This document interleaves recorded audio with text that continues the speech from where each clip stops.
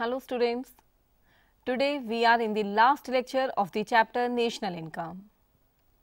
Till now we have discussed a lot about national income like meaning of national income, national income at current prices, national income at constant prices, gross domestic production at factor cost, gross domestic production at market price, concept of per capita income, three methods for measuring national income etc.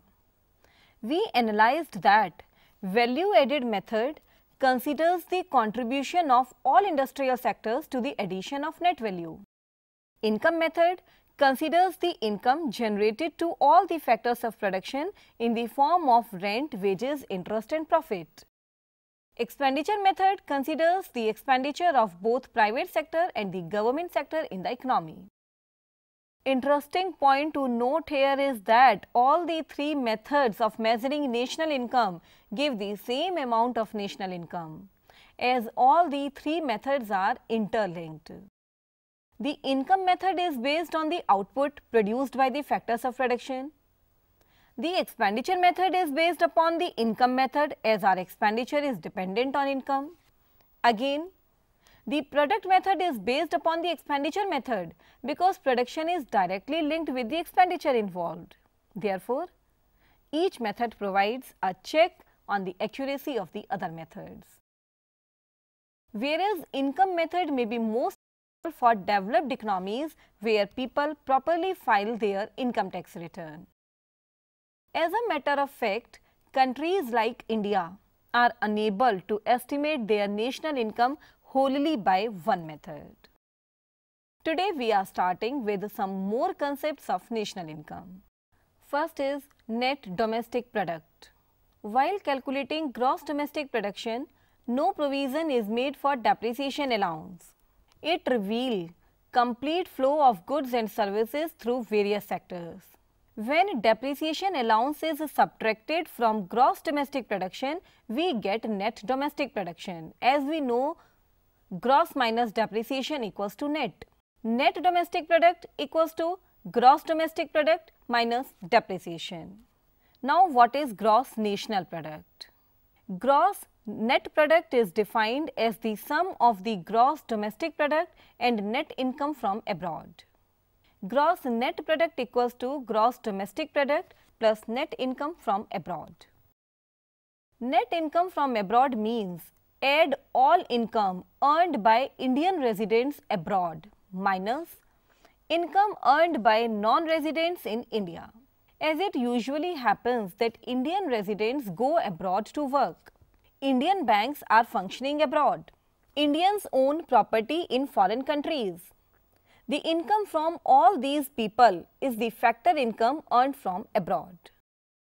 Next term is net national product net national product is equal to net domestic product plus net foreign income from abroad. Next and last term is net national product at factor cost or national income. Net national product at factor cost or national income is defined as the sum of domestic factor incomes and net factor income from abroad. Actually for estimating national income, Central Statistics Office has prescribed different methods for different sectors. For example, for agriculture sector, production method is followed. In sectors like electricity, transport, trade, public administration, etc., income method approach is followed. Now, what is national income accounting? It is a method of preparing and presenting national income accounts based on the principle of double accounting system of business accounting. National income accounting tries to summarize the performance of an economy by measuring national income aggregates in a year. There are two basic functions of national income accounting. First, to identify specific economic achievements of a country and second objective is on this basis, government frames its policies and programs to maximize the material welfare of the people. This is the concept of national income accounting, which enables us to understand and analyze and interpret the working of an economy. That's why the subject of macroeconomics begin with the chapter of national income. Estimation of the national income of a country is not an easy task. Appropriate and completely reliable data for accomplishing this work is not available even in developed countries. There are certain problems and difficulties in the estimation of national income. These problems can be classified into two categories, conceptual problems and statistical problems. Conceptual problems relate to definition of various terms like definition of output, identification of intermediate products, definition and identification of factor incomes, etc. Most of the conceptual difficulties arise due to following reasons. Unorganized and non-monetized sector. The national income is estimated in terms of money value. But there are some economic activities that are non-monetary in nature. In agriculture sectors, most of the agricultural laborers are paid part of the wages in kind. Now, it is difficult to estimate their actual money wages. Similarly, the amount of food grains produced and consumed by the farmers are difficult to conceptualize. Second problem, under conceptual head is of classification into distinct industrial groups which is not an easy task.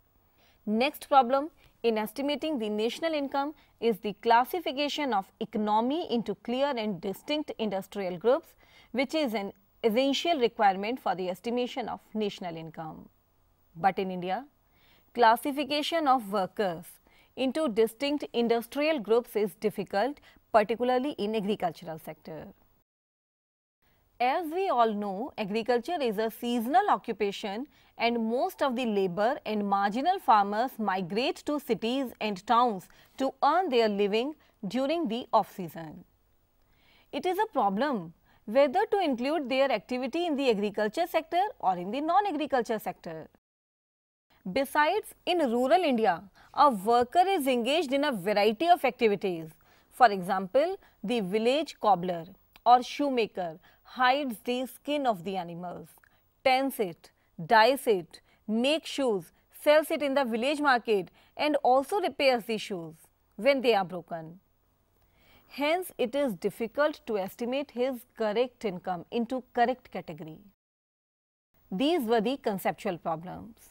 Now, some of the statistical problems in measuring national income. First among them is non-availability of data. In many leading sectors of Indian economy like agriculture and unregistered manufacturing units, producers do not keep any record of output and intermediate products used. Since it is not possible to conduct a sample survey in every such sector, the amount of guesswork is very high. For example, the gross value added by taxis and auto rickshaws is largely a guesswork and guesswork is only an estimation which may or may not be correct. Second problem in statistical head is gaps in statistical data. In order to estimate value added in production units, it is necessary to collect complete data regarding the various intermediate products and services used in the manufacture of the final product but such complete data are not available in such subsector of the economy. The following problems also require particular mention. Presence of a large non-monetized sector, lack of appropriate and reliable data, problem of double counting, problem of transfer payments, difficulties in classification of working population, unreported illegal income.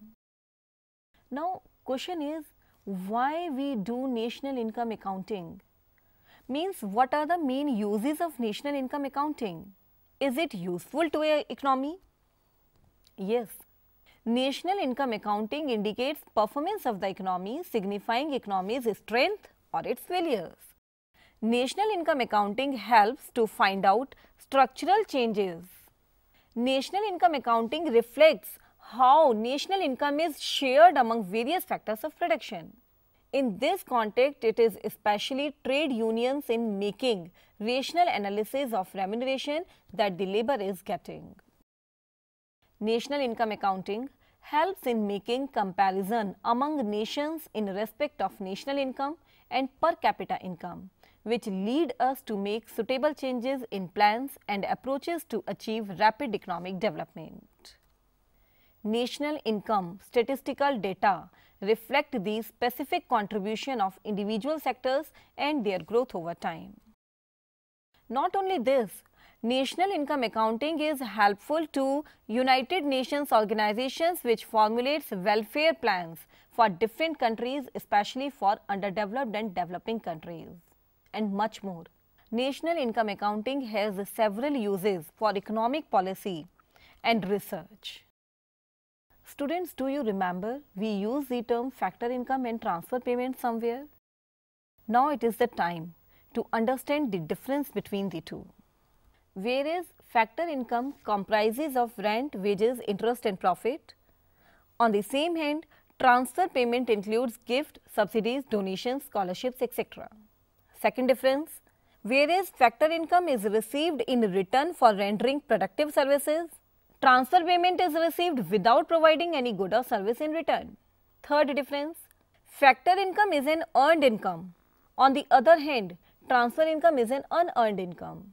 Fourth difference, factor income is a bilateral payment, whereas transfer payment is unilateral payment. Fifth difference, Factor income is included in national income whereas transfer income is not included in national income. Students, our chapter completes here. I think now we should do few questions to test the knowledge of this chapter. Are you ready for it? Then let's start. First question, in which concept a base year price is taken for calculating national income? Options are national income at current prices, national income at constant prices, national income at market price and national income at factor cost. Yes, the answer is national income at constant prices because the question is in which concept a base year price is taken and we know we take base year price in national income at constant prices. Second question, value of national income at market price and factor cost is same except inclusion and exclusion of two items. And what are these two items? First option is direct tax and indirect tax. Second option direct taxes and subsidies. Third option indirect taxes and subsidies.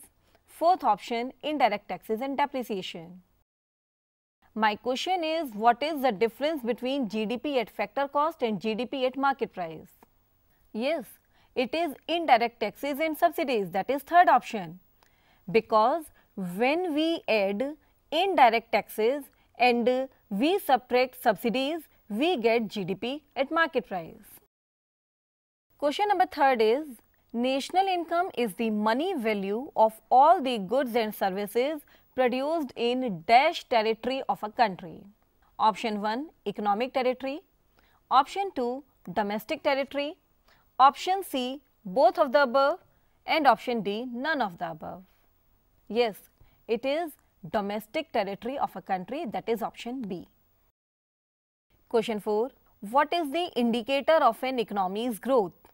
Means how it is shown that economy is growing as per its gross domestic production, as per its net domestic production, as per increase in population, as per increase in infrastructure, means which among the four shows that economy is growing? Yes, it is gross domestic production. Next question is, transfer payments are those payments which are made. First option, which are made to workers on transfer from one job to another. Second option, transfer payments are those which are paid to workers as compensation. Option third, transfer payments are those which are made without any exchange of goods and services. And option 4, transfer payments are made for making imports and export. Yes, students, it is none other than, it is option C. Because transfer payments are made without any exchange of goods and services as we have earlier said transfer payments are unilateral payment. Question number 6. Which of the following is an economic activity? Option 1. Listening to the music on the radio. Option 2. Teaching one's own son at home. Option C.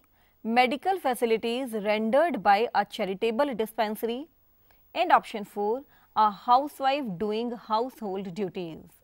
Which among the four is an economic activity? Yes, it is again C medical facilities rendered by a charitable dispensary. As option A says listening to the music on the radio, it is not an economic activity. Second is teaching own son at home. It is also not economic activity. And option D is a housewife doing household duties. It is not an economic activity. Our next question is demand for final consumption arises in first option household sector only, second option government sector only, third option both household and government sectors, fourth option neither of the above sectors. Yes, it is both sectors. See, demand for final consumption arises in both sectors. We also demand for final goods as we are household and government sector also demand for final goods. So, we end here with these questions, hoping a better understanding on your part. Thank you.